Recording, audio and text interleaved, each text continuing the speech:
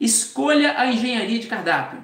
Essa é a primeira coisa que você tem que fazer, escolher uma engenharia de cardápio. O primeiro passo para pensar na batataria é você estipular as batatas que serão oferecidas para os seus clientes. Assim você poderá projetar o kit de equipamento, o seu estoque de ingredientes e até mesmo a quantidade que você vai conseguir produzir e assim saber qual é o ROI, o retorno sobre o investimento que esse negócio vai trazer para você saber se vale a pena ou se não vale a pena você montar um negócio. Tendo clareza sobre o ROI, quanto que isso vai retornar para você, é que você decide se vale a pena ou não você sustentar esse negócio funcionando, se vale a pena ou não você investir seu dinheiro e montar, tá bom? Aqui é a hora de você usar sua criatividade, beleza?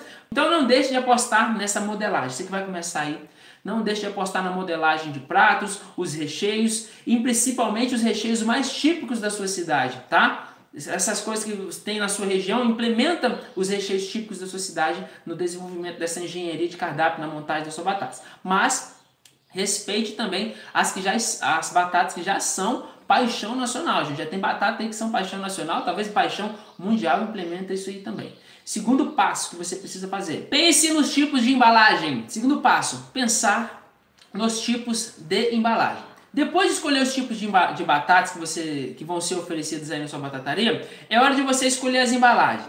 Lembre-se de considerar o gasto que você vai ter com as embalagens para que possa montar a tabela de custo de forma correta e não ter surpresas no seu investimento, beleza? A galera normalmente monta ali o custo, mas acaba não implementando a, a, as embalagens. Ah, vou fazer embalagem massa ali é, e acaba não implementando isso, trazendo uma certa dificuldade é, na montagem do custo final, dando erro de montagem de custo, vira um problema para isso, tá? Então, é, acrescente também sobre essas embalagens qual a qualidade do material. Seus clientes vão receber as batatas em casa, estão esperando ali receber uma refeição boa, de qualidade e principalmente, tá? Principalmente, a primeira coisa que eles vão observar é se está bem apresentável. Então, na hora que você viu as minhas batatas, por exemplo, aqui nas mídias sociais, você viu que era uma foto muito bonita e tudo mais, você quer fazer também? Então, ofereça isso para o seu cliente. Às vezes, uma foto de batata te trouxe até aqui. Às vezes, uma embalagem de batata te trouxe até aqui.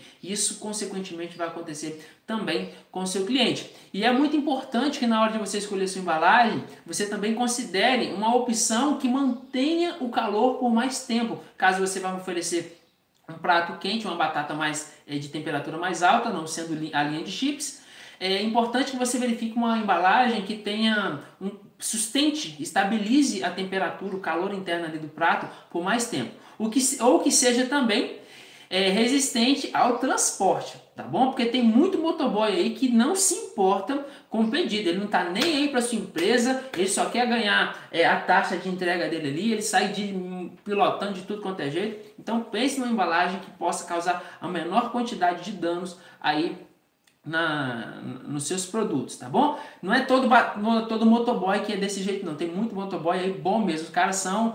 É, merecem os parabéns, mas tem uns que não mereciam estar tá, é, trabalhando. Pode estar tá na moto dele lá, mas trabalhando para no negócio que é de sustentar várias famílias, eles não deviam estar tá ali não. Mas beleza.